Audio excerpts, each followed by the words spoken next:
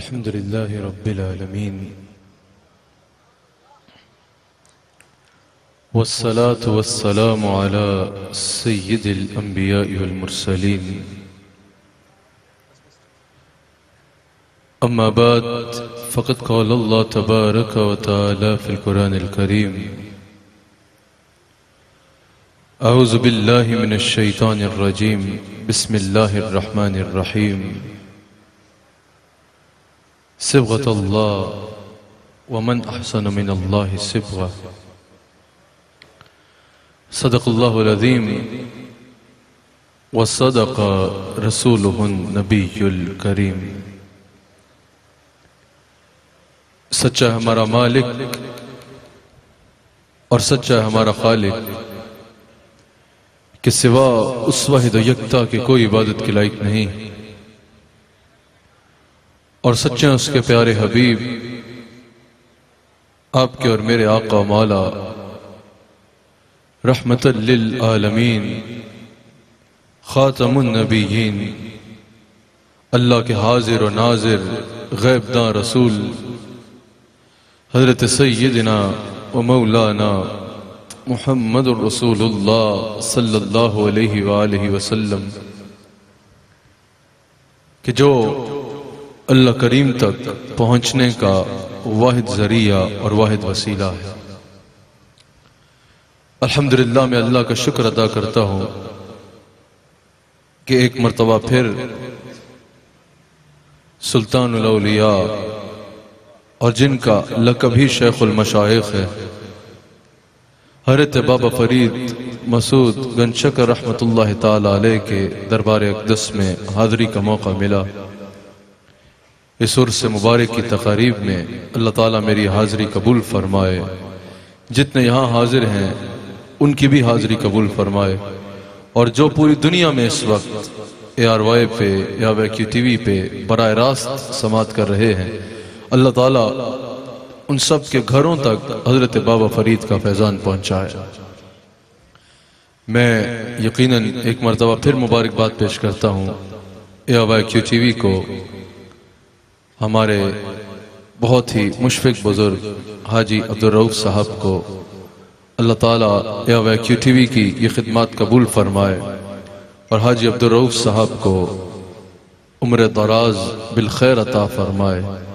इनकी हर खैर के काम को अल्लाह ताला कबूल फरमाए और इनके खैर के कामों में अल्लाह ताला मजीद बरकत अता फरमाए। यकीनन हाजी साहब की भी मोहब्बत कि हर साल इधर उर्स की तकारीब में शरीक होना आज तबीयत की नासाजी के बा के बायस स्टेज पर नहीं तशरीफ़ ला सके तो समात फरमा रहे हैं। अल्लाह ताला उनकी इन खिदमत को कबूल फरमाए और उनकी तोफ़ीक़ात खैर में इजाफा फरमाए। हज़रत बाबा फरीद रहमतुल्लाह के मज़ार पे आने वाले, हज़रत बाबा फरीद रहमतुल्लाह ताला से अकीदत रखने वाले, यहाँ मौजूद या पूरी दुनिया में इस वक्त जो बर रास्त इस उर्स की तकरीब में शरीक हैं हज़रत बाबा फरीद का नाम लेना, हज़रत बाबा फरीद से मोहब्बत करना, नाम के साथ इनकी नस्बत लगाना, नाम के साथ फरीदी नस्बत लगाना, फरीदी फैज़ान लगाना, इसको अपनाना, ये बहुत बड़ी बात है। यकीनन इसकी बरक़ात है। यकीनन इनका नाम लेने की बरक़ात है। यकीनन इनके मज़ार पे आने की बरक़ात है। यकीनन इनके मज़ार पे आके दुआ मांगना कबूलियत का बायस बनता है। वो कबूल होती है दुआ जो अल्लाह वालों के मज़ार पे मांगी जाए। वो एक तनवील उनवान है, मेरा वो उनवान नहीं। इनका नाम लेना, इनके आरास सजाना, इनका लंगर खिलाना, इस सब की बिला शुबा बरक़ात हैं। हमारे शार में शामिल हैं, हम करते हैं और इन तादम आखिर ये बरक़ात समेटते रहेंगे। लेकिन सबसे ज़्यादा ज़रूरी ये है कि जहाँ इंसान इनका मकाम देखे, जहाँ इंसान इनकी शान देखे, इनकी ज़िंदगी, इनका फैज़ान, इनका मकाम सिर्फ़ इसलिए नहीं था कि जब ये दुनिया से चले जाएँ तो हिस्ट्री के तौर पर इनका ज़िक्र कर लिया जाए और साल में एक दफ़ा वाह वाह सुबहान अल्लाह करके के बाद को ख़त्म कर दिया जाए। इनकी ज़िंदगी एक जबता हयात होती है। इनकी ज़िंदगी ज़िंदगी गुजारने का एक रास्ता सिखाती है। इनसे मोहब्बत करने वाले के लिए सिर्फ़ हक फरीद या फरीद का नारा लगाना काफ़ी नहीं है। इनसे मोहब्बत करने वाले के लिए सिर्फ़ मज़ार पे आना काफ़ी नहीं है। इनसे मोहब्बत करने वाले के लिए सिर्फ़ इनका लंगर खिलाना या खाना काफ़ी नहीं है। इनसे मोहब्बत करने वाले के लिए ज़रूरी है, देखे कि बाबा फरीद को ये मकाम मिला तो मिला कैसे? बाबा फरीद को ये मर्तबा मिला तो मिला कैसे? बाबा फरीद इस दर्जे पे पहुँचे तो पहुँचे कैसे? बाबा फरीद ने आखिर कुछ तो किया होगा ना? पंजाबी में कहते हैं ना एम नहीं फरीद फरीद होंगी। किसी ने, बाबा फरीद ने कुछ तो किया होगा। किसी रस्ते पे तो चले होंगे। कुछ तो किया होगा जो ये मकाम और मर्तबा पाया। पाक पतन में आने वालों और पूरी दुनिया में पाक पतन शरीफ से उर्स की नशरियात आर वाई क्यू टीवी पे देखने वालों, आज ज़रूरी ये है कि हम वो रास्ता ढूंढें, वो खैर के काम ढूंढें, वो ज़रिया ढूंढें कि बाबा फरीद अगर इस मकाम पर पहुँचे तो पहुँचे कैसे? और ढूंढ के सुबहान अल्लाह कह के चुप कर जाए। नहीं, जब वो रास्ता मिल जाए तो उस पर चलना शुरू कर दें। उस मंजिल पे तरफ़ रवान हो जाए। उस मंजिल की तरफ़ चलना शुरू हो गए, तब वो तुम्हें पैजान मिलेगा कमा हक हु जो बाबा फरीद का पैजान है। अल्लाह अकबर। मैंने आज थोड़ी देर आपसे कलाम करना है। इन ओलिया का मकाम भी बयान करना है, और मकाम के साथ साथ ये भी बयान करना है कि ये मकाम मिलता कैसे है। अल्लाह वाला बनने के लिए वली के घर में पैदा होना ज़रूरी नहीं है। अल्लाह वाला बनने के लिए कहीं की खिलाफत मिलना ज़रूरी नहीं है। अल्लाह का वली बनने के लिए किसी मदरसे की सनत बनना ज़रूरी नहीं है। अल्लाह वाला बनने के लिए अल्लाह वालों के नक्शे कदम पे चलना ज़रूरी है। नक्शे कदम पे चलना ज़रूरी है। मैंने आयत तलावत की। अल्लाह करीम इरशाद फरमाता है सिबगतुल्लाह उन पर अल्लाह का रंग है। उन पर अल्लाह का रंग है। वमन अहसन सिबगा और बताओ अल्लाह के रंग से बेहतर किसका रंग है? भला अल्लाह के रंग से बेहतर भी किसी का रंग हो सकता है सिबगतुल्लाह उन पे अल्लाह का रंग है। हज़रत बाबा फरीद जैसे वलियों का ज़िक्र, हज़रत गौस आज़म जैसे वलियों का ज़िक्र, मेरे शेख अकबर हज़रत मुजद्दिद जैसे वलियों का ज़िक्र, मेरे आका नेमत हज़रत भाउद्दीन नक्शबंद जैसे वलियों का ज़िक्र, हज़रत महमूद फकनवी जैसे वलियों का ज़िक्र, ये वो ओलिया अल्लाह हैं जिन पर अल्लाह अपना रंग चढ़ा चुका है। सिबगत अल्लाह, इन पर अल्लाह का रंग है। इन पर अल्लाह का रंग है। अब आप पूछेंगे, भाई, अल्लाह के रंग से मुराद क्या है? अल्लाह का रंग कहते किसको है? इमाम कुर्तबी ने कहा और दीगर कई मुफसरीन ने कहा, अल्लाह के रंग में सबसे पहले मुराद इस्लाम है और ईमान है। जिसको अल्लाह ताला दौलत इस्लाम नसीब करता है, मुझे आपकी दाद भी नहीं चाहिए। मुझे आपका साथ सिर्फ़ इस हद तक चाहिए कि आपकी तवज्जो भरपूर रहे। मैं थोड़ी देर गुफ्तु करूँगा। मुझे हाजरीन की भी और घर बैठे नाजरीन की भी भरपूर तवज्जो दरकार है। इमाम कुर्तबी कहते हैं, सबसे पहले ज़रूरी है कि इंसान साहेब इस्लाम हो। साहेब ईमान हो तो उस पर अल्लाह का रंग चढ़ जाता है। पाक पतन में मैं, ये महफिल में शरीक और दुनिया भर में सुनने वाले अहल ईमान से मैं कहूँगा, इस पर अल्लाह का शुक्र किया करो कि अल्लाह ताला ने तुम्हें इस्लाम अता फरमाया है। इस पर अल्लाह का शुक्र किया करो कि दुनिया में अरब अरबों लोगों में से अल्लाह ने तुम्हारा इंतखाब फरमा के तुम्हें ईमान की दौलत अता की है। सिबगत अल्लाह अल्लाह ने तुम पे अपना रंग चढ़ा दिया है। हम अल्लाह का शुक्र करते हैं कि अल्लाह ने हमें कुपर के रंग से बचा के, शिरक के रंग से बचा के, गुमराहियों के रंग से बचा के अपने दीन का रंग अता फरमाया है। अल्हम्दुलिल्लाह, जो साहेब ईमान होता है, अल्लाह का रंग उस पर आ जाता है। वो दुनिया के रंगों से बच के अल्लाह के रंग में रंगा जाता है। लेकिन फिर दर्जा अतम ये रंग किसको मिलता है? कहा, इससे मुराद ज़िक्र इलाही और याद इलाही है। ज़िक्र की असल तर्जमा जो अल्लाह वाले बाबा फरीद जैसे अल्लाह वाले खाज अब्दुल करीम जैसे बुज़ुर्ग, हज़रत पिसानी जैसे बुज़ुर्ग, हज़रत शाह नक्शबंद जैसे बुज़ुर्गों ने बयान किया सैयदुलौलिया सरताजुलौलिया हज़रत दाता अली हजवेरी जैसे बुज़ुर्गों ने जो बयान किया, हज़रत मोइनुद्दीन चिश्ती अजमेरी जैसे बुज़ुर्गों ने जो ज़िक्र का असल माना बयान किया, वो मैंने आपके आगे रखना है। उससे पता चलेगा कि अल्लाह का रंग कैसा होता है। कहा, इससे मुराद ज़िक्र इलाही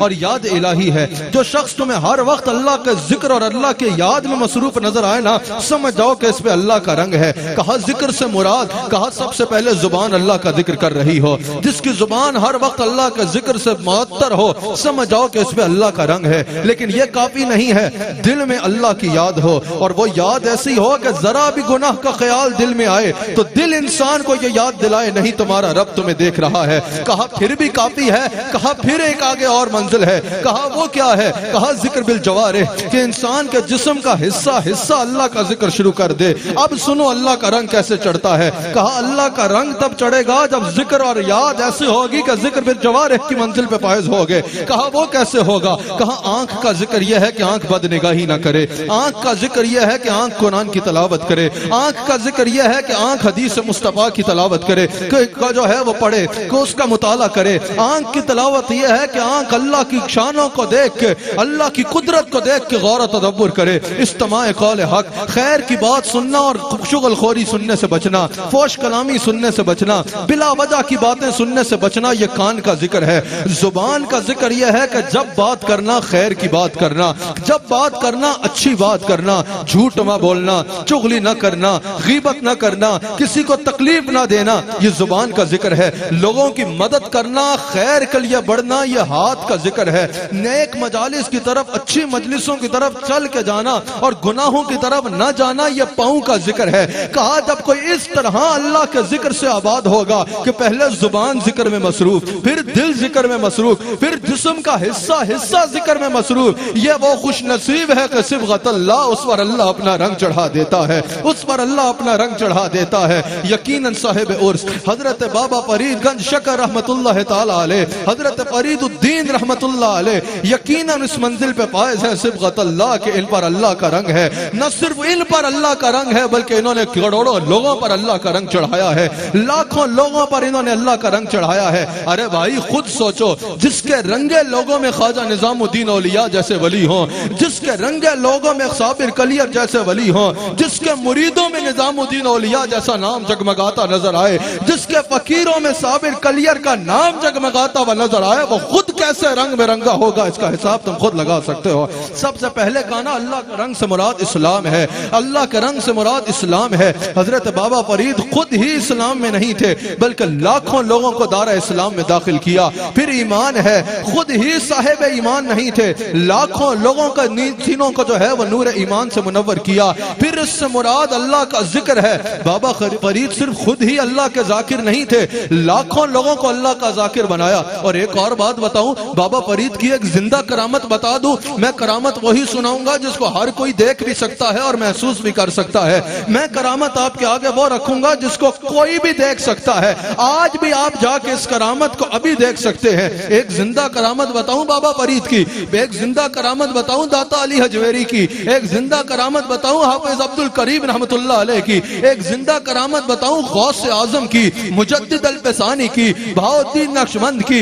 इनकी ज़िंदा करामत यह है, बाबा फरीद ने खुद तो सारी ज़िंदगी अल्लाह का ज़िक्र किया, खुद ज़िंदगी में तो लोगों को अल्लाह का ज़िक्र कराया, आज भी इनकी कब्र ज़िक्र इलाही की तबलीग कर रही है। आज इनकी कब्रें भी ज़िक्र इलाही की तबलीग कर रही है। बड़े बड़े मदारस हैं बड़े बड़े मराकज हैं सबकी खिदमत अपनी जगह मोतबर हैं और काबिल कबूल हैं और काबिल तहसीन है। लेकिन जरा बाबा फरीद की कबर पे रात के इस पहर में चले जाओ, रात के इस पहर में बाबा फरीद के मजार पे जाओ। तुम्हें बड़े से बड़े मरकज में इतने बैठे बैठे नज़र नहीं आएँगे। तुम्हें बड़े से बड़े आगे पीछे मरकज में इतने लोग बैठे अल्लाह का ज़िक्र करते नहीं नज़र आएँगे, जितने लोग तुम्हें रात के इस पहर में भी बाबा फरीद की कबर पर बैठ के अल्लाह का ज़िक्र करते नज़र आएँगे।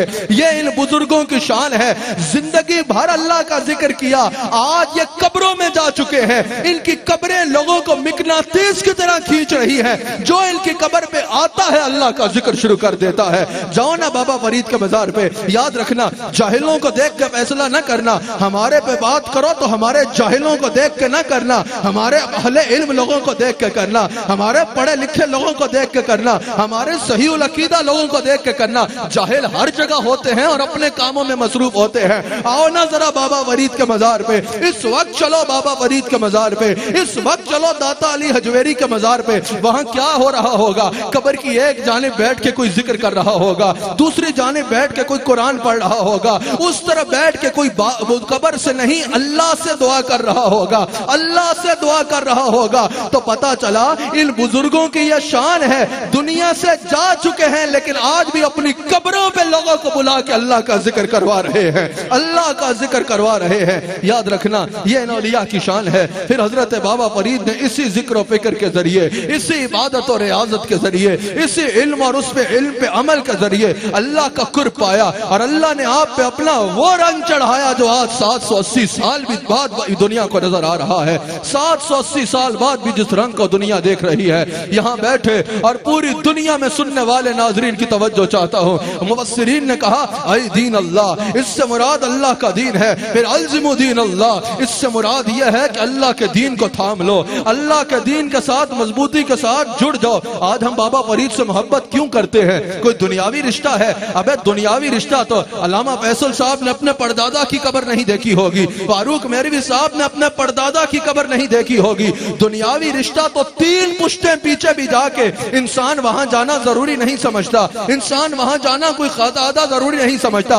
780 साल पुराने बुज़ुर्ग के साथ ऐसी मोहब्बत कि इस दौर में भी लोग दूर दूर से चले आते हैं। इस दौर में जब दो रक्त की रोटी खाना लोगों के लिए मुश्किल हो गया हुआ है, दो रक्त की रोटी पकाना लोगों के लिए घरों में मुश्किल हुआ है इस महँगाई के दौर में भी लोग दूर दूर से सफ़र करके बाबा फरीद के मजार पे आते हैं। आखिर ये कौन सा रिश्ता है? आखिर इस मोहब्बत की बुनियाद क्या है? आखिर इस मोहब्बत की वजह क्या है? इस मोहब्बत की वजह फकत यह है कि ये अल्लाह के दीन को थामे हुए थे।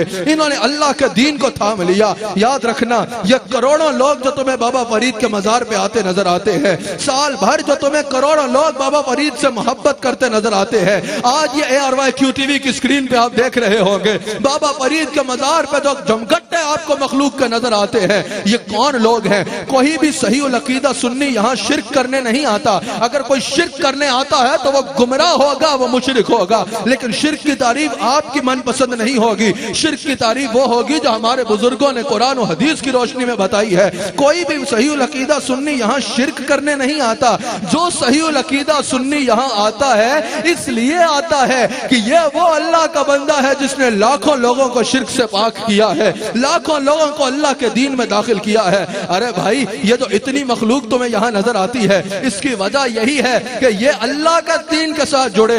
इन्होंने अल्लाह की मोहब्बत को दिल में बसाया। इन्होंने लाखों लोगों को अल्लाह से जोड़ा। अब लोगों के दिलों में इनकी मोहब्बत अल्लाह डाल रहा है। की तफसीर में अलामा इब्ने कसीर ने हज़रत हरम बिन हबान का कौल नकल किया। हज़रत हरम बिन हबान कहते हैं हाफिज इब्ने कसीर नकल कर रहे हैं, कि जो अल्लाह की तरफ़ सिद्ध के दिल से झुकता है ना, अल्लाह अपने बंदों के दिलों को उसकी तरफ़ झुका देता है।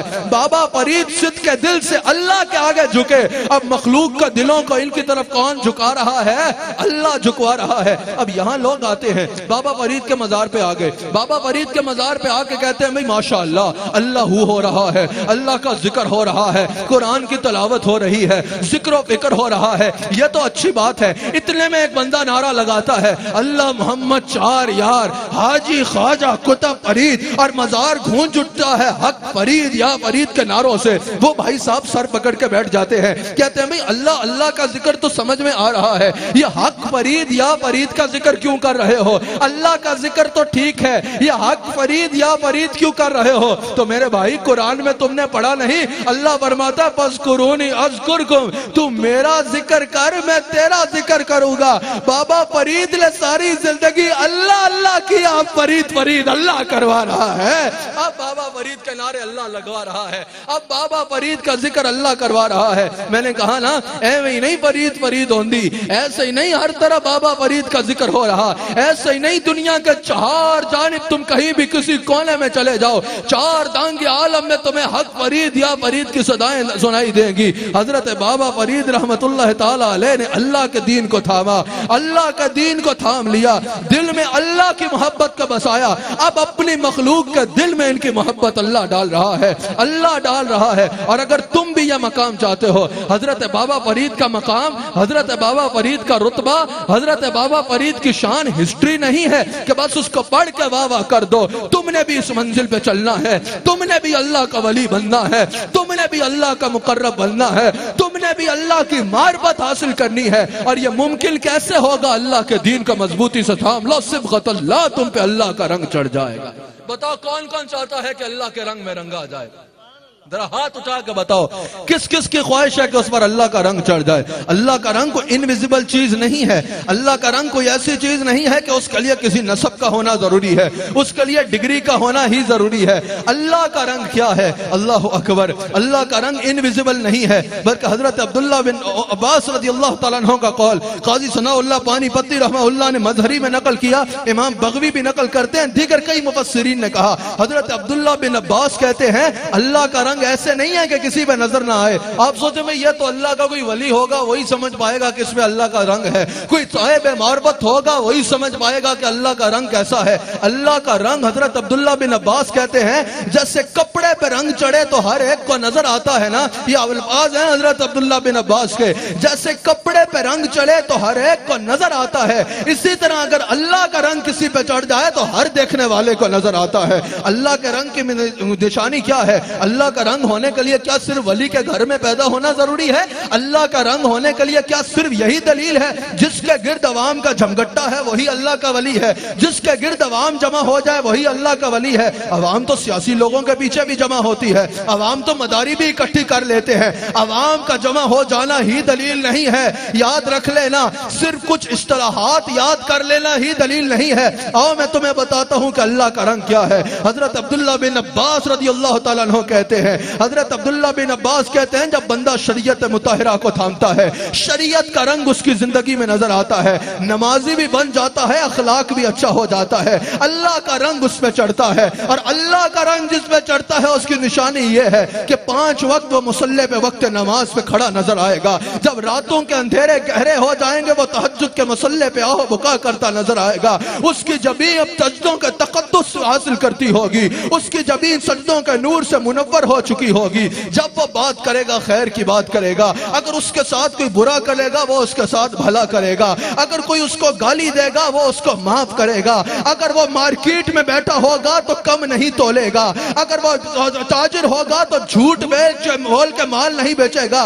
रिस्क हलाल की जस्तुजू करेगा रिस्क हराम से बचेगा। अगर कोई तुम्हें ताजिर हलाल कमाता हुआ नज़र आए, और हराम कमाल को ठोकर मारता हुआ नज़र आए, समझ जाना यह भी वो खुश नसीब है जिसमें अल्लाह का रंग चढ़ चुका है। जो अल्लाह के रंग में रंगा हुआ है, किसी को गाली नहीं देगा, किसी से पोश कलामी नहीं करेगा, फजुलियात में वक्त जाया नहीं करेगा। जो उसकी बात सुनेगा, उसकी नेकियों में इजाफा होगा। जो उसका अमल देखेगा, उसको आखिरत की याद आएगी। फिर वो मंजिल आएगी, जिसके बारे में हुजूर फरमाते हैं, वो अल्लाह के रंग में ऐसा रंग जाएगा। ज़ाहिर और बातिन को शरीयत के ऐसे ताबे कर चुका होगा कि जो उसका चेहरा देखेगा, उसका चेहरा देख के उसको अल्लाह याद आ जाएगा। उसका चेहरा देख के लोगों को अल्लाह याद आएगा। ये वो खुश नसीब है कि सिबगत अल्लाह अल्लाह उसका अपने रंग में रंग चुका है। यह वो खुश नसीब है। यह वो खुश नसीब है।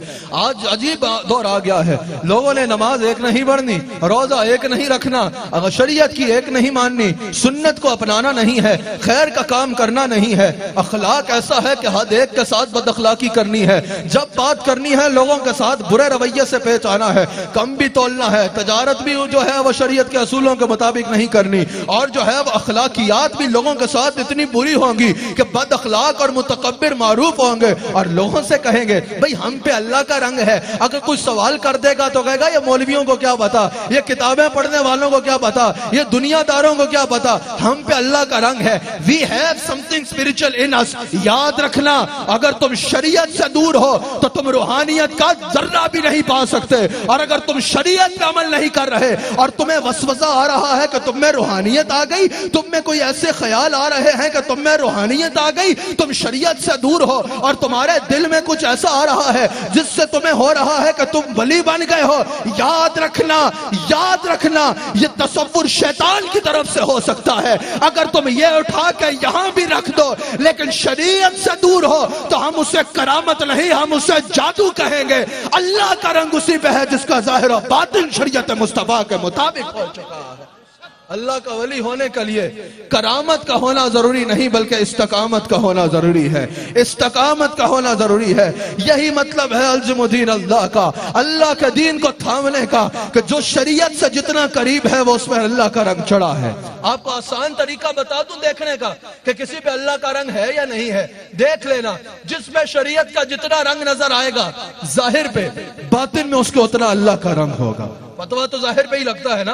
आजकल लोग अजीब है। कोई बंदा नमाज़ पढ़ भी रहा हो, कह रही है, दिल में कुछ और है, दिल से नहीं पढ़ रहा। अबे तुम्हें क्या पता दिल से पढ़ रहा है या नहीं पढ़ रहा? तुम ज़ाहिर देख के कहोगे, जिसका ज़ाहिर शरीयत के मुताबिक नज़र आता है, जिसके अकवाल, जिसके अफआल शरीयत के जितने मुताबिक है, वो अल्लाह के रंग में उतना रंगा हुआ है। वो अल्लाह के रंग में उतना रंगा हुआ है। बताओ ना, हज़रत बाबा फरीद रहमत पर, हज़रत ख्वाजा अब्दुल करीम पर, हज़रत मोइनुद्दीन चिश्ती अजमेरी पर हज़रत दाता अली हजवेरी पर, हज़रत गौस आज़म पर, हज़रत भाउद्दीन नक्शबंद पर, हज़रत मुजद्दिद अल्फसानी अहमद सरहंदी फारूकी रज़ी अल्लाह तआला पर, जो अल्लाह का रंग चढ़ा। क्या ये घर बैठे बैठे चढ़ गया?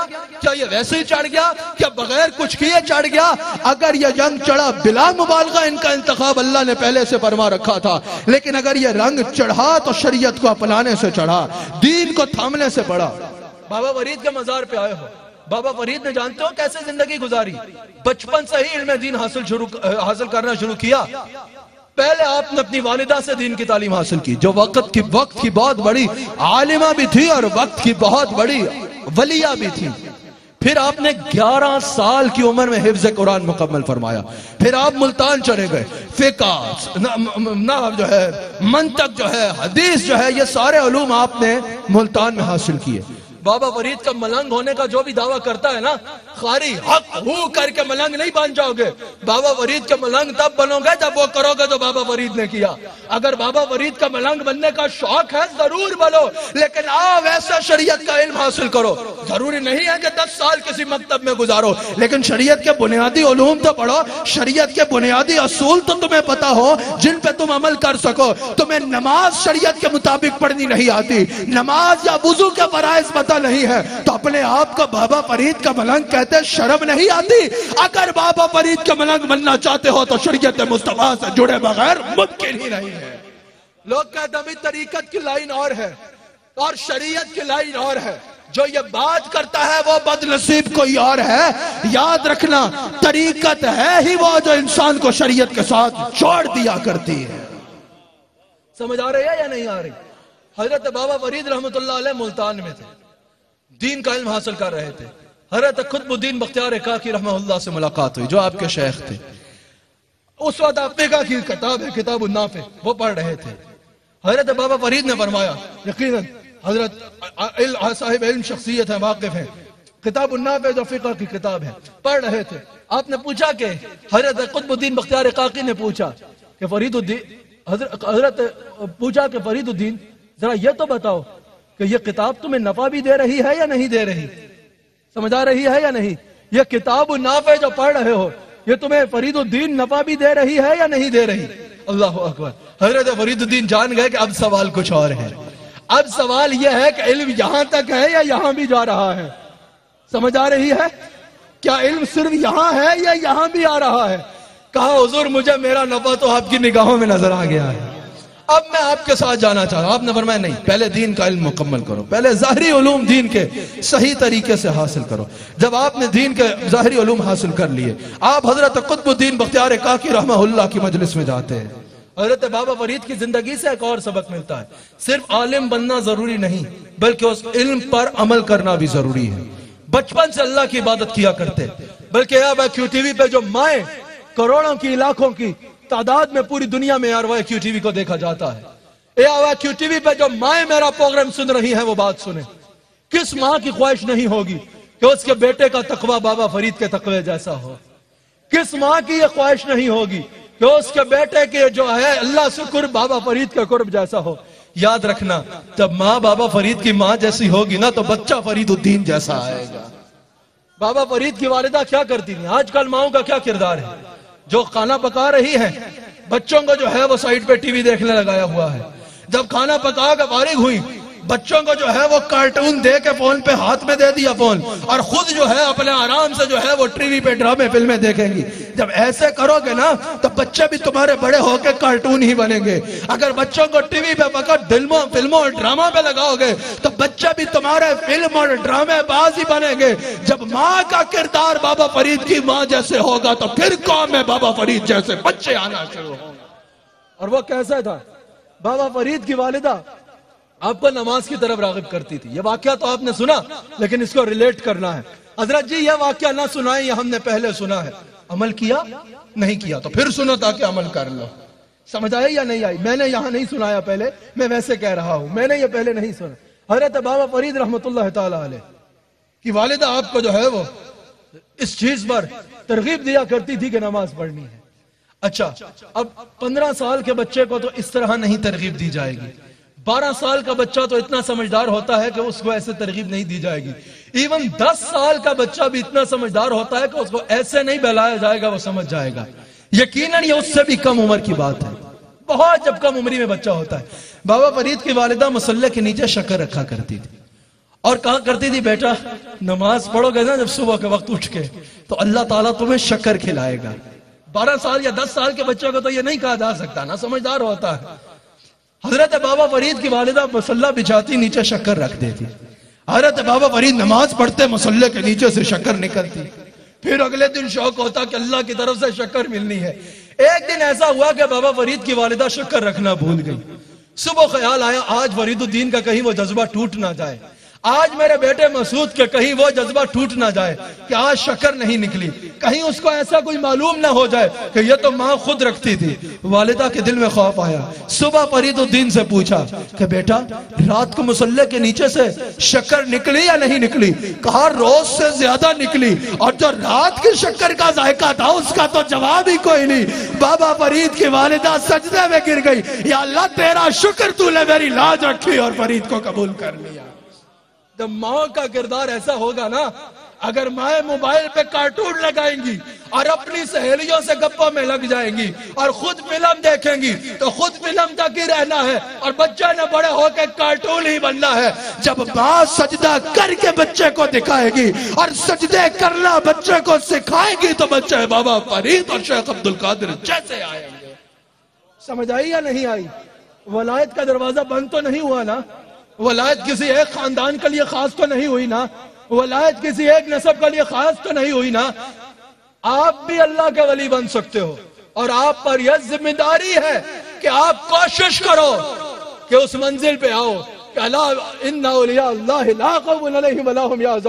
फिर उस मंजिल पे आओ कि उधर से आवाज़ आए हुक्म फिल हयात दुनिया व यह मंजिल हासिल करना। आज के और में अपना मुद्दा बनाना है। आज के उर्स में कोशिश करनी है कि यह मंजिल हासिल करके जाना है। हज़रत कुतुबुद्दीन बख्तियार काकी के पास चले गए। हज़रत बाबा फरीद रहमत अपने शेख के पास। शेख ने आपको अपनी खानकाह में बिठाया और ज़िक्र इलाही में मसरूफ कर दिया कि अल्लाह का ज़िक्र शुरू कर दो। हज़रत बाबा फरीद रहमत कारी शाहिद महमूद साहब, हज़रत बाबा फरीद अपने शेख के बताए हुए अजकार में, ज़िक्र में मसरूफ थे। ऐसे में क्या हुआ कि उनके शेख के शेख हरत ख्वाजा मोइनुद्दीन चिश्ती अजमेरी रहमत दौरा करते हुए हरत कुतुबुद्दीन बख्तियार काकी के खानका में पहुँचे। यह रवायत थी कि जब भी हज़रत ख्वाजा गरीब नवाज़ मोइनुद्दीन चिश्ती रहमत अपने मुरीदों के पास जाते थे तो उनके आगे जितने खुलाफा होते थे, वो उनको ख्वाजा साहब के आगे पेश कर देते थे। ख्वाजा साहब उनको वाज करते थे और उनमें तबरक़ात तकसीम किया करते थे। इसी तरह खुदबुद्दीन बख्तार खाकी रहमत ने अपने तमाम खुलाफा को आपके आगे पेश कर दिया। आपने सब में तबरुक बांटे, आपने कहा कि फरीद कहा है? फरीदुद्दीन कहा है? कहा हजूर उसको अल्लाह के ज़िक्र से फुर्सत ही नहीं है। वो जब देखो अल्लाह के ज़िक्र में होता है और अपनी मनाजिल तय कर रहा होता है, इसलिए मैंने उसको नहीं बुलाया। फरमाएँ तो उसको अभी बुलाता हूँ, अभी हाजिर हो जाएगा। हरत ख्वाजा मोइनुद्दीन ने कहा, नहीं, चलो फरीदुद्दीन के हजरे में चलते हैं। मुकद्दर देखो, मोइनुद्दीन चिश्ती और कुतुबुद्दीन बख्तियार काकी मिल के इनके हुजरे में आ रहे हैं। जब हुजरे में पहुँचा तो देखा, बाबा फरीद, दुनिया से बेखबर जज्ब की कैफियत में अल्लाह का ज़िक्र कर रहे हैं। हज़रत मोइनुद्दीन चिश्ती को वजद आ गया हज़रत मोइनुद्दीन चिश्ती एक कैफियत में चले गए आपने हाथों को उठाया कहा या अल्लाह मेरे फरीदुद्दीन को कबूल फरमा ले मेरे फरीद को अपनी बारगाह में कबूल कर ले और आप फरमाते हैं मैंने इल्हामी कैफियत से जाना कि अल्लाह मेरे फरीद को कबूल कर चुका है फिर आपने अपने हाथ से आपने और कुतुबुद्दीन बख्तियार रहमत ने मिलकर हज़रत बाबा फरीद की दस्तार बुलंदी की दस्तार बंदी की। आप इसी तरह शरीयत की और तरीकत की मनाजिल तय करते गए। फिर आज एक कमाल ये आया कि आप इस मंजिल पे फायज हुए जो हमें आज नज़र आती है, जो हमें आज नज़र आती है। आज कोई नमाज़ पढ़े नहीं, समझा या नहीं? रोजा रखे नहीं, अल्लाह का ज़िक्र करे नहीं। शरीयत का तो उसको दूर दूर तक कोई शगफ भी ना हो। और कहा, मुझ पे बाबा का रंग चढ़ गया, या मुझ पे बाबा का रंग है, मुझ पे फरीदी रंग है, मुझ पे बाबा फरीद का रंग चढ़ गया, मैं बाबा फरीद के फैजान मुझे मिलता है, और तेनू की पता, साढ़े पीछे बाबा फरीद का हथ है। ओ भाई, इतना सस्ता सौदा नहीं, ऐसे नहीं, ये बताओ, जब बाबा फरीद को ये सब कुछ किए बगैर रंग नहीं मिला तो तुम उनसे बड़े आ गए हो। बताओ मुझे, बाबा फरीद को रंग नमाज़ के बगैर मिल गया शरीयत के बगैर मिल गया तबलीग का बगैर मिल गया सुन्नत के बगैर मिल गया, सुन्नत को अपनाए बगैर मिल गया। जब उल को ये सब कुछ सब कुछ किया बगैर नहीं मिला तो तुम क्या उल से भी बड़े आ गए हो? अगर चाहते हो कि चिश्ती रंग चढ़े, अगर चाहते हो नक्शबंदी रंग चढ़े, अगर चाहते हो मुजद्दी रंग चढ़े, अगर चाहते हो फरीदी रंग चढ़े, काली तुम्हारे कहने से नहीं चढ़ेगा, वो करना पड़ेगा जो बाबा फरीद ने करके दिखाया है। समझ आई? वरना फकत दावा होगा। दावा यह है कि मैं फरीदी हूँ। मैं मुजद्दिद पाक का नौकर हूँ ना। मैं दावा करता हूँ, मैं मुजद्दिदी हूँ। आप दावा करते हैं कि आप चिश्ती हैं। पता हमारे दावों से नहीं चलेगा। अगर मेरा अमल मेरे दावे के खिलाफ है तो मैं झूठा हूँ। अगर तुम्हारा अमल तुम्हारे दावे के खिलाफ है तो तुम झूठे होगे। अरे तबाब फरीद को वो जो कमाल मिला। समझ रहे हैं या नहीं समझ रहे? नाराज़ तो नहीं हो रहे इन बातों से। यही असल बात है। अल्लाह अकबर। अल्लाह अकबर। अल्लाह अकबर। क्या बात है बाबा फरीद की? वो आज एक कमाल मिला कि हज़रत बाबा फरीद मर जा खलायक बन गया आपका दरबार। इंसान तो इंसान है। एक सौ के करीब आपके खुलाफात जिन्नात में से थे। एक सौ के करीब जिन्ना, करीब जिन्नात में आपके खुलाफा थे हज़रत बाबा फरीद रहमत ने इस अंदाज में लोगों को अल्लाह के रंग में लड़ा, लड़ाया और रंगा जिस, और अल्लाह के दुश्मनों से लड़ा और लड़ाया जिसका कोई तस्वर भी नहीं कर सकता। मुबसरीन फरमाते हैं कि जब कोई इस अंदाज में अल्लाह के रंग में रंगता है, मैंने पंद्रह मिनट में अपनी बात को खत्म करना है। मुझे हाजरीन की भी और दुनिया भर में सुनने वाले नाजरीन की भी तवज्जो दरकार है। मुझे पता है दात इन बातों में वैसे भी मेरी तकरीर खराब ना करिएगा, लेकिन इन बातों में जो कलबी दात है वो भी कम ही मिलती है। लेकिन ये बात करना ज़रूरी है, क्योंकि असल तस्वुब ये है। मैं ये समझता हूँ, आज अगर तस्वुब में उंगली उठाई जा रही है तो सिर्फ़ उंगली उठाने वालों का कसूर नहीं है। बहुत बड़ा कसूर उनका भी है, जो तस्वुफ की मसनत पे बैठे हैं, लेकिन उनको तस्वुफ के बुनियादी असूलों का ही नहीं पता। जब आप किसी को बचा ही नहीं सकोगे, ऐसे बताओ ना किसी को तस्वुफ तो देखो कौन कहता है कि ये तस्वुफ खिलाफ है। तस्वुफ शरीयत के खिलाफ नहीं है। जो तस्वुफ गौ से आज़म ने बताया, जो तस्वुफ मेरे इमाम इमाम अहमद रजा खान बरेलवी ने बताया, जो मुजद ने बताया, किसी के बाप में ज़रूरत नहीं है कि उसमें उंगली उठा सके। जब कोई संदाज में अल्लाह के रंग में रंगता है, कुल इन कुन तुम हिब्बून अल्लाह। फत्ता भी उन्हीं की मंजिल का मिस्ताक बनता है। तो उस तरह फैज नबूत का दरवाज़ा खुल जाता है। जब फैज नबूत का दरवाज़ा खुलता है ना तो पाक पतन से ये प्रोग्राम देखने वाला, वो युहबिबकुमुल्लाह की मंजिल पे फायज हो जाता है। कुलन कुन तुम तो हिब्बून अल्लाह फत्ता भी उन्हीं जो हमसे मोहब्बत का इरादा करता है, आपकी तबाह करे। युहबिबकुमुल्लाह पहले वो हमसे मोहब्बत करता था, फिर हम उससे मोहब्बत करने लग पड़े। और जब किसी से अल्लाह मोहब्बत करता है ना, फिर उसको यह मकाम मिलता है। बस इख्तदाम पे जा रहा हूँ, बहुत तवज्जो दरकार। फिर उसको यह मकाम मिलता है कि वो अल्लाह का रंग में ऐसा रंगता है कि वो अल्लाह की सिफात का मजहर बन जाता है। अब लोग कहते हैं, भाई, अल्लाह की सिफात का मजहर, ये क्या है? ये तो कहने वाले सुन्नी शिरक करते हैं। भाई, हमसे पूछो तो सही, हमारा अकीदा क्या है? हमारा अकीदा ये है, अल्लाह की सिफात का मजहर बनता है। इससे मुराद क्या है? अल्लाह सत्तार है ना? सत्तार का क्या माना है? ऐबों पे पर्दे डालने वाला। तो बंदा भी ऐबों पे पर्दे डालना शुरू हो जाता है। अल्लाह जवाद है ना? बंदा भी सखी हो जाता है। अल्लाह कादियल हाजात है ना, बंदा अपनी इस्तात के मुताबिक लोगों की हाजत पूरी करना शुरू हो जाता है। अल्लाह वदूद है ना, बंदा भी अल्लाह के बंदों से मोहब्बत शुरू कर देता है। अल्लाह वहाब है ना, बंदा भी अल्लाह के बंदों की मदद शुरू कर देता है। यहाँ अल्लाह के बंदों से बंदा मोहब्बत करता है, वहाँ अपने बंदे से अल्लाह मोहब्बत करता है। यहाँ बंदा लोगों के ऐबों पे पर्दे डालता है, वहाँ अल्लाह बंदे के ऐबों पे पर्दे डालता है। यहाँ बंदा लोगों के हाजात पूरी करता है, वहाँ बंदा अल्लाह बंदे के हाजात पूरी करता है। यहाँ बंदा लोगों की मदद करता है। वहाँ बंदा, अल्लाह बंदे को वली बना लेता है। फिर वह मंजिल आती है, जो बुखारी में मौजूद है, जिसके बारे में मुस्तफ़ा जान रहमत सल्लल्लाहु अलैहि वसल्लम फरमाते हैं। अल्लाह फरमाता है, जब कोई नफली इबादत के ज़रिए मेरा कुर्ब पाता है ना, फिर कुर्ब मशरूत है इबादत के साथ। इबादत के बगैर कुर्ब नहीं है। और जहाँ इबादत में हकूकुल्लाह शामिल है, वहीं हकूकुल इबाद भी शामिल है। जब बंदा नफली इबादत के ज़रिए मेरा कुर्ब हासिल करता है बुखारी में मौजूद है।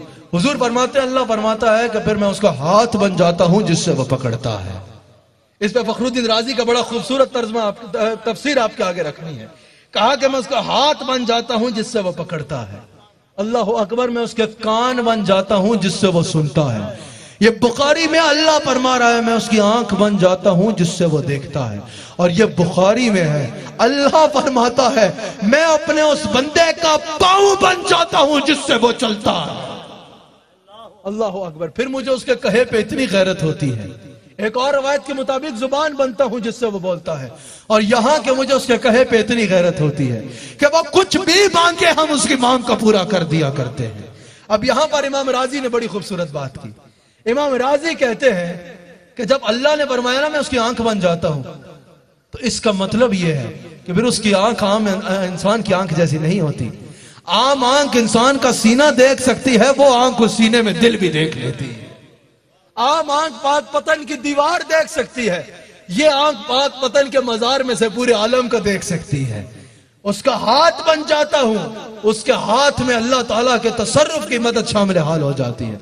उसका पाँव बन जाता हूँ, उसके पाँव में वो ताकत आ जाती है। उसकी समात बन जाता हूँ, उसकी समात में वो ताकत आ जाया करती है।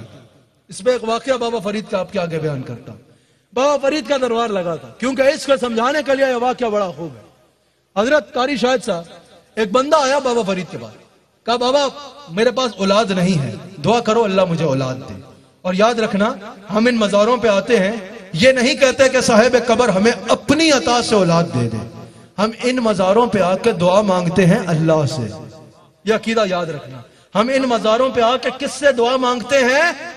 और इनका वसीला बनाते हैं। और अगर इनसे अर्ज़ करते हैं तो यह नहीं कि हजूर बाबा फरीद हमें अपने जनाब से बच्चा अदा करो। नहीं। इनसे हम यह अर्ज़ करते हैं, या बाबा फरीद, आप अल्लाह के हजूर हमारी सिफारिश कर दो। आप अल्लाह के हजूर हमारी सिफारिश कर दो कि आपकी दुआ से बेटा अल्लाह अता करे। यह अहल सुन्नत का अकीदा है और यही अहल सुन्नत का अकीदा है। यही अहल सुन्नत का अकीदा है। अल्लाह अकबर। हमारा मसला कितना खूब है। हमारे अहले इल्म की वजह से कोई हम पे उंगली नहीं उठा सकता। बड़े बड़े अहले इल्म भी अगर हम पे उंगली उठाएँगे तो हमारे जहलों की वजह से उठाएँगे। यह अहले सुन्नत का मसला का अल्हम्दुलिल्लाह आज भी वो काबिर मौजूद हैं जिनकी मौजूदगी में उंगली उठाना नामुमकिन है अहले सुन्नत व जमात पर। कहा कि हजूर, दुआ करें, अल्लाह बेटा दे। आपने आँख बंद की। आना एक, दो, तीन, चार, आपने सात तक गिनती की। जाओ, अल्लाह तुम्हें सात बच्चे देगा। पास बैठे एक शख्स ने आपके खलीफा से कहा, ये बंदा है, या खुदा है माज अल्लाह ये कैसे कह रहे हैं कि साथ बैठे होंगे? वो चला गया। अरसा गुजर गया। वही शख्स आया और इतफाक से वही शख्स उस मजलिस में फिर बैठा था जिसने कहा था, बंदा है या खुदा है? और उस बंदा अपने सात बच्चों के साथ आया। कहा, हजूर, अल्लाह ने मुझे सात बेटे दिए करामत सुनाना मकसद नहीं, अंजाम सुनाना मकसद है। बाबा फरीद ने यह भी बताया, यह मकाम मिलेगा कैसे? यह मकाम तुझे भी मिल सकता है। अल्लाह अकबर। हज़रत बाबा फरीद ने उसको कहा, सुनाओ। सात बेटे दिए ना अल्लाह ने कहा, हज़रत, ये हुआ कैसे? अब सुनो, जिसके लिए मैंने ये वाक्य सुना है। हज़रत बाबा फरीद ने फरमाया, चालीस साल मैंने ऐसे गुजारे कि मैंने अल्लाह की हर बात मानी। अब वो मकाम आ गया है कि अल्लाह मेरी हर बात मानता अल्लाह अकबर अल्लाह अकबर। चालीस साल मैंने अल्लाह की मानी। अभी भी मानता हूँ, ये नहीं कि आप माननी छोड़ दी। चालीस साल मैंने अल्लाह की बात मानी। अब अल्लाह मुझमें इतना राज़ी हो गया है, मैं हाथ उठा के कुछ कहूँ, अल्लाह मेरी मांग को पूरा कर देता है। बंदा मिट जाए ना आका पे, वो बंदा क्या है? बेखबर हो जो गुलामों से, वो आका क्या है? हुजूर ने फरमाया ना जो अल्लाह का हो जाता है, अल्लाह उसका हो जाता है। पाक पतन में आने वालों और पाक पतन से दुनिया भर में आरवाए पे ये प्रोग्राम देखने वालों, तुम अल्लाह के हो जाओ, अल्लाह तुम्हारा हो जाएगा। इसके बाद अल्लाह ने फरमाया और बताओ, अल्लाह के रंग से बेहतर किसका रंग है? दुनिया के रंग भी भला कोई रंग है यार। चार दिन की चांदनी फिर अंधेरी रात। कोई वज़ीर आज़म बन जाए, चार दिन की चांदनी फिर अंधेरी रात। कोई सदर बन जाए, चार दिन की चांदनी फिर अंधेरी रात। किसी को और बड़ा होता मिल जाए। चार दिन की चांदनी, फिर अंधेरी रात। किसी को दौलत मिल जाए, अबे दौलत कब तक काम आ जाएगी? यार, तुम बताओ, किसी को जितनी शोहरत भी मिल गई।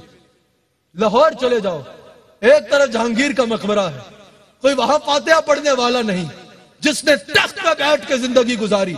और एक तरफ़ एक ऐसा फकीर है अली हजवेरी जिसने चटाई पे बैठ कर ज़िक्र किया, उधर फातिहा पढ़ने वाला कोई नहीं। बड़े से बड़े बादशाह दाता अली हजवेरी की चौखट चुभते नज़र आते हैं। वो दुनिया का रंग है और ये है, वमन सिबगा। बताओ, अल्लाह के रंग से बेहतर किसा रंग है? दुनिया में जो बादशाह मसनत से उतर जाए, लोग उससे मिलना भी पसंद नहीं करते। और यहाँ यह है, अल्लाह का रंग जिस पे चढ़ा हो, वो कबर में उतर जाए। सात सौ अस्सी साल गुजर जाए, फिर भी मखलूक चौखट को चूमती नज़र आती है। अच्छा दुनिया में कोई जितना मशहूर हो, दुनिया से चला जाएगा। एक दिन याद कर रहेंगे, दो दिन याद रहेगा, साल याद रहेगा, दस साल याद रहेगा। फिर कहीं हिस्ट्री की किताबों में कहीं उसका ज़िक्र पड़ जाएगा। बदिल नाखास्ता तालब इल्मों को ज़बरदस्ती पढ़ा दिया जाएगा। समझ आई या नहीं? ले, पुराना होता जाएगा, रंग फीका होता जाएगा। अल्लाह का रंग सात सौ अस्सी साल बाबा फरीद के मजार देख लो। दस साल पहले बाबा फरीद के मजार पे जितना रश था, आज उससे दस गुना बढ़ गया है। दस साल पहले जितने लोग आते थे, आज बढ़ गए हैं। आगे बढ़ते रहेंगे। दुनिया का रंग फीका होता चला जाता है, अल्लाह का रंग बढ़ता चला जाता है। यह है अल्लाह का रंग। और यही तो अल्लाह फरमा रहा है। यही तो अल्लाह ताला फरमा रहा है कि बताओ अल्लाह के रंग से बेहतर किसका रंग है? सिर्फ़ रंग, अल्लाह ने जो फरमाया, आपके जहन में सवाल आता होगा। अल्लाह यह भी फरमा सकता था कि इन पर अल्लाह का फजल है, इन पे अल्लाह की मेहरबानी है, इन पर अल्लाह की रहमत है। यह क्यों फरमाया कि रंग है? इसकी वजह मुबसरीन ने कही कि यहूद और नसारा में एक रस्म थी कि जब उनके सुनिएगा, जब उनके हाँ कोई बच्चा होता था ना या कोई उनके मज़हब में आता था तो वो उस पर एक जर्द रंग फेंक दिया करते थे। जब वो रंग उस पर फेंका जाता था, उसका चेहरा सब कुछ उस रंग में चढ़ जाता था। वो कहते थे, इस पे हमारा रंग चढ़ गया। अल्लाह ने फरमाया, ये कच्चा रंग भी कोई रंग है? ये कच्चा रंग भी कोई रंग है? रंग चढ़ा, धोया, उतर गया, ये कहा का रंग है? कहा रंग चढ़ाना है तो वो चढ़ाओ जो वक्त से फीका ना पड़े। जो उतरे नहीं जब पानी से उतरे नहीं वो ना चढ़ाओ। जो खाली ज़ाहिर पे चढ़े, फिर फ़ौरन उतर जाए। मुफसरीन कहते हैं, अल्लाह फरमा रहा है। रंग चढ़ाना है तो वो चढ़ाओ, जो पानी से धुले नहीं, धूप से उड़े नहीं, वक्त से फीका ना हो। सिबगत अल्लाह, वो अल्लाह का रंग है। और अल्लाह के रंग से बेहतर किसका रंग है? यही वो रंग है जो अबू बकर पे चढ़ा तो सिद्दीक अकबर बना दिया। उमर पे चढ़ा तो फारूक आज़म बना दिया। उस्मान पे चढ़ा तो काबिल हयाई वाले मान हबीबुर रहमान बना दिया। अली पे चढ़ा तो मौला कायनात बना दिया। बिलाल हबची पे चढ़ा तो रश के कवर बना दिया। अली हजमेरी पे बड़ा चढ़ा तो दाता गज बज बना दिया। अब्दुल कादिर पे चढ़ा तो गौस आज़म बना दिया। मोइनुद्दीन पे चढ़ा तो गरीब नवाज़ बना दिया।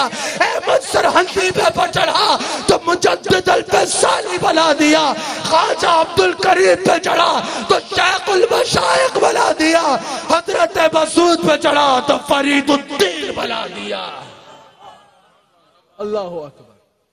हज़रत बाबा फरीद का वक्त आखिर आया। हुजूर फरमाते हैं कि तुम में से जिसको, जिस हालत में ज़िंदगी गुजारोगे ना, ये याद रखना। ज़िंदगी गुजार लेना, जवानी गुजार ले। आखिरी वक्त में तोबा कर लेंगे। अबे भाई, तुझे ये किसने बोला है कि जवानी के बाद बुढ़ापा आना है? जवानी में मर गया तो क्या बनेगा? समझ आई? और जवानी में तोबा कर, या अंबिया का शेवा है। जवानी में तोबा कर, अल्लाह कयामत के दिन अपने अर्श के साय में तुझे जगह देगा। अल्लाह अकबर। और फिर हुजूर फरमाते हैं कि जो जिस हालत में ज़िंदगी गुजारता है, उसको उसी हालत में मौत आती है। और जो जिस हालत में मरता है, कयामत के दिन, उसी हालत में उठाया जाएगा। बाबा फरीद का जब वक्त आखिर आया ना, आपके साथ जो हज़रत मौजूद थे, आप फरमाते हैं, आपने इशा पढ़ी, फिर नमाज़ पढ़ी, फिर सजदे किए, फिर सजदे करते चले गए। यहाँ तक कि आँखों से जारो कतार आँसू जारी है। सजदे की हालत में है। या हई और या कयूम ज़ुबान पर है और दुनिया से चल। तशरीफ़ ले जाते हैं। तो हमें यकीन है कि बाबा फरीद ने जब कयामत के दिन उठना भी है तो या हई या कयूम कहते उठना है। जिस बात पे मैंने खत्म, वो करना है, वो कुरान की एक बात है। अब सुन लोग लोग कहते हैं यही है ना? ये इन्होंने तकरीर की, यही तो हम कहते हैं। अल्लाह वालों का message is important himself he is not important अल्लाह वालों का बस मैसेज इंपॉर्टेंट है ये शरारत ना करना ये नहीं कि सिर्फ़ पैगाम इंपॉर्टेंट है कबर पे आने की ज़रूरत नहीं पड़ी इनके मजार पे वो कुछ मिलता है जो कहीं और नहीं मिल सकता कुरान का एक बात आपके आगे रखता हूँ और उसी पे अपनी बात को तीन से चार मिनट में खत्म कर दूँगा अल्लाह करीम ने कुरान में ज़िक्र फरमाया अल्लाह ने फरमाया ना मेरे वलियों से मोहब्बत करो मेरे वलियों से मोहब्बत करो मेरे वलियों की मोहब्बत तुम्हें हमारी मोहब्बत दे देगी। और गाफिलों से बचो, क्योंकि गाफिलों का साथ तुम्हें भी गाफिल बना देगा। अल्लाह ताला ने एक बड़ा खूबसूरत कुरान में वाक़ ज़िक्र फरमाया। सूरह कहफ में अल्लाह करीम फरमाता है कि अल्लाह ताला ने हज़रत मूसा सलाम से इरशाद फरमाया कि जाओ, हमारे एक बंदे की तलाश करो। हमारे बंदों में से एक बंदा हज़रत खिजर सलाम, तुम्हें मिलेगा, उसकी तलाश करो। अल्लाह अकबर। गारी शाहिद साहब यहाँ मुफसरीन कहते हैं, अल्लाह की इसमें हिकमत थी। अल्लाह वलियों की तलाश को नबियों की सुन्नत बनाना चाहता था। क्योंकि नबियों की सुन्नत बनेगी तो शरीयत बनेगी। वली का अमल शरीयत नहीं बनेगा, सिर्फ़ बरकत होगा। अल्लाह ने वलियों की तलाश को नबियों की सुन्नत बना दिया। बड़े गौर से सुनना, अहले इल्म मौजूद होंगे। अल्लाह ने वलियों की तलाश को नबियों की सुन्नत बनाया। कहा, जाओ फला मकाम पे तुम्हें हमारे बंदों में से बंदा खिजर मिलेगा। कौन खिजर सलाम? बाज ने कहा कि नबी है। बाज ने कहा कि वली है। ज़्यादा हवत कौल यही है कि वली है। और तकरीबन तमाम सूफिया का कौल यही है कि हज़रत खिजर वली है। हमारे बंदों में से बंदा तुम्हें मिलेगा। अल्लाह फरमाता हज़रत मूसा सलाम, उस बंदा, वली की तलाश में निकल गए। अपने खादिम अपने खादिम यूशा बिन नून को साथ लिया और उस वली की तलाश में निकल गए। सूरह कहब में अल्लाह बयान फरमाता है कि हज़रत मूसा सलाम ने अपने खादिम यूशा बिन नून से कहा कि ऐसा करो कि एक मछली लो, मछली को तल लो, पका लो, साथ बाँध लो, रस्ते में भूख लगी तो खा लेंगे। ऐसा ही किया यूशा बिन नून ने। मछली को लिया, तल लिया, पका लिया, भुनी हुई मछली का सालन साथ लिया और चल दिए। अल्लाह अकबर। रस्ते में अल्लाह फरमाता है, एक मकाम आया जहाँ दो दरिया मिल रहे थे। उधर क्या हुआ? भुनी हुई, तली हुई मछली ज़िंदा हुई और पानी में दौड़ गई। अल्लाह फरमाता है, वो जो यूशा बिन नून थे, उनके खादिम थे जो, वो मूसा सलाम को बताना भूल गए। शैतान ने उन्हें बुला दिया, वो भूल गए। अल्लाह अकबर। कुछ आगे सफ़र गुजरा तो हज़रत मूसा सलाम ने यूशा बिन नून से कहा कि वो मछली लाओ, भूख लगी है, खाना खाना यूशा बिन नून ने कहा कि, हुजूर, मैं आपको बताना भूल गया। रस्ते में वो मकान जहाँ दो दरिया मिल रहे थे, वहाँ वो भुनी हुई मछली ज़िंदा हुई। अजीब वाक्य हुआ कि वो ज़िंदा होकर पानी में दौड़ गई। हज़रत मूसा ने कहा, फ़ौरन वापस चलो। वही वो मकाम है जिसकी हम तलाश कर रहे थे। वहीं पे हमें अल्लाह का वो वली मिल जाएगा। कुरान कहता है, वो उन्हीं फुट स्टेप्स को फॉलो करते हुए वापस गए। उसी मकाम पे उनको अल्लाह के बंदों में से वो बंदा, यानी खिजर सलाम, मिल गए। बात बदल में आने वाला कुरान का यह वाक्य हमारे आगे से पर्दे हटा रहा है और बता रहा है, अल्लाह का वली ये तासीर रखता है, जहाँ अली का अल्लाह का, जहाँ अल्लाह का वली बैठा हो, वहाँ इतनी तासीर होती है कि मुर्द ज़िंदा हो जाते हैं। बताओ, जहाँ मुर्दे ज़िंदा हो जाते हैं, वहाँ गाफिल बेदार नहीं हो सकते। वहाँ मुर्दा दिल अल्लाह के ज़िक्र से ज़िंदा नहीं हो सकते।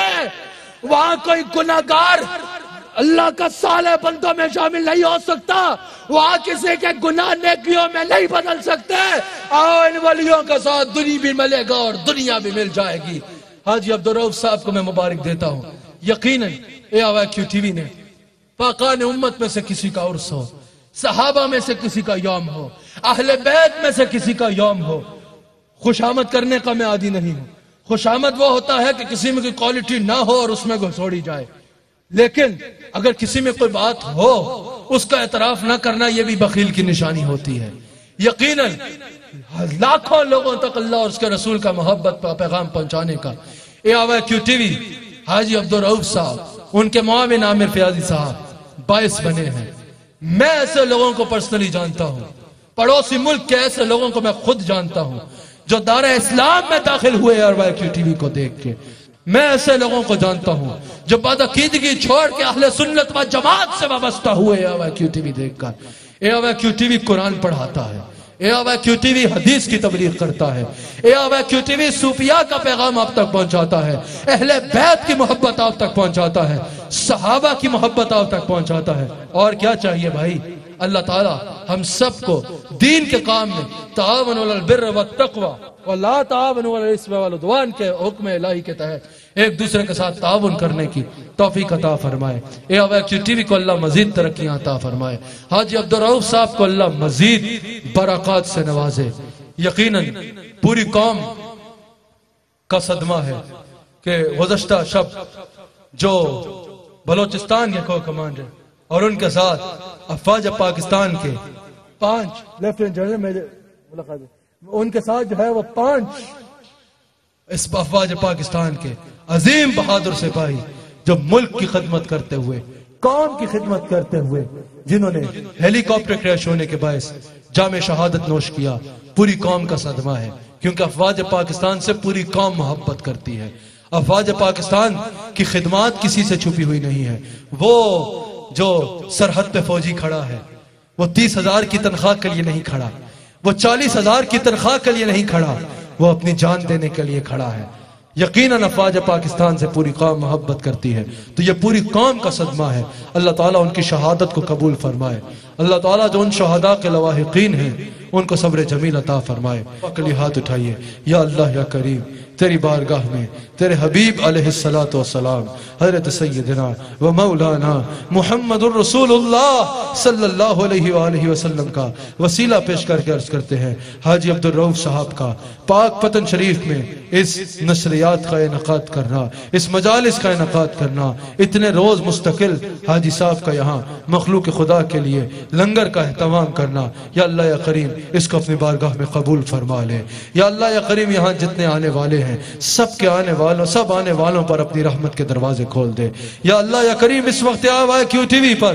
पूरी दुनिया में जितने लोग इस दुआ में शरीक हैं, हजूर सलाम का वसीला पेश करके अर्ज़ करते हैं, या अल्लाह, इन सब शरीक लोगों को वैसा तकवा अता फरमा जैसा तूने बाबा फरीद को अता फरमाया। वैसी अपनी मोहब्बत अता फरमा जैसी तूने बाबा फरीद को अता फरमाई। वैसे अपनी मारपत अता फरमा जैसे तूने बाबा फरीद को अता फरमाई। वैसे रसूलुल्लाह से मोहब्बत अता फरमा अलैहि वसल्लम से, जैसे तूने बाबा फरीद को अता फरमाई, या अल्लाह रसूलुल्लाह सल्लल्लाहु अलैहि व आलिहि व असहाबिहि वसल्लम का वसीला पेश कर कर्ज करते हैं। जितने लोग इस वक्त आवा क्यू टीवी के दुआ में शरीक है इस वक्त, या अल्लाह या करीम, सबकी जायज़ मुरादों को पूरा फरमा दे। तो सबके चिलो दिलों में छुपा हुआ भेदों से वाकिफ है, सबकी हाजात को पूरा फरमा। या अल्लाह या करीम, सबकी जायज़ हाजात को पूरा फरमा। या अल्लाह या करीम, हम सब पे अपना खास फजलो करम फरमा, जिसके रिस्क में तंगी है, उसके कुशादगी अता फरमा। जिसको अल्लाह या करीम कारोबार में मुश्किल हैं, उसके लिए आसानी फरमा। सबके लिए रिस्क हलाल के दरवाजे खोल दे और खैर से उसके लिए मेहनत की तोफीक अता फरमा। या अल्लाह या करीम, हर किसी की परेशानी दूर फरमा दे। जो बीमार इस दुआ में शामिल है, उनको शिफा कामिला अता फरमा। हमारे हाजी अब्दुल रऊफ साहब को शिफा कामिला अता फरमा। आमिर फयाजी साहब की काविशों को कबूल फरमा। ए आवा क्यू टीवी को दिन दुगनी और रात चुगनी तरक्कियाँ अता फरमा। या अल्लाह अल्लाह पूरी उम्मत मुस्लिमा पे करम फरमा। या अल्लाह, उम्मत मुस्लिमा को रसूलुल्लाह अलैहिस्सलाम के नाम पर इत्तेहाद और इत्तफाक अता फरमा। या अल्लाह, मुसलमानों को अपना वही वकार फिर अता फरमा, जो तूने फारूक आज़म के दौर में अता फरमाया। और मुसलमानों को उसके लिए जस्तजू और कोशिश की तोफीक अता फरमा। या अल्लाह, पाकिस्तान पे करम फरमा। या अल्लाह, पाकिस्तान की सरहदों की हिफाजत फरमा। या अल्लाह, पाकिस्तान की जोग्राफी और नजरियाती सरहदों की हिफाजत फरमा। या अल्लाह, या करीब पाकिस्तान के मुहाफिजों की हिफाजत फरमा, या अल्लाह, या करीब या अल्लाह, या करीब जितने लोग ये प्रोग्राम देख रहे हैं, हज़रत बाबा फरीद का पैजान सबको उनके घरों में आता फरमा, या अल्लाह, या करीम, मेरे पीर तरीकत, मेरे मुर्शिद करीब मेरे शेख कामिल को उम्र दराज बिल खैर अता फरमा, मेरे शेख कामिल को उम्र दराज बिल खैर अता फरमा, मेरे शेख कामिल का फैजान वसअतें और बरकतें अता फरमा, या अल्लाह, या करीम, जितना यहाँ हाजी साहब ने लंगर का एहतमाम किया, या अल्लाह, या करीम, जितने इन कुरान और हदीस की नशरियात का एहतमाम किया, इसका सवाब या अल्लाह तो अपने शान के लायक हज़रत बाबा फरीद अलैह के मजार पे नाजिल फरमा, रब्बना आतिना फिद दुनिया हसना, व फिल आखिरत हसना, व किना अजाबन नार। या अल्लाह या करीम, हमारे चौधरी अंसर साहब, अमेरिका से आए, या अल्लाह या करीम, इस महफिल में शरीक हैं, इनके ऊपर अपना खास फजल करम फरमा, बेरहमतिका या अरहमर राहिम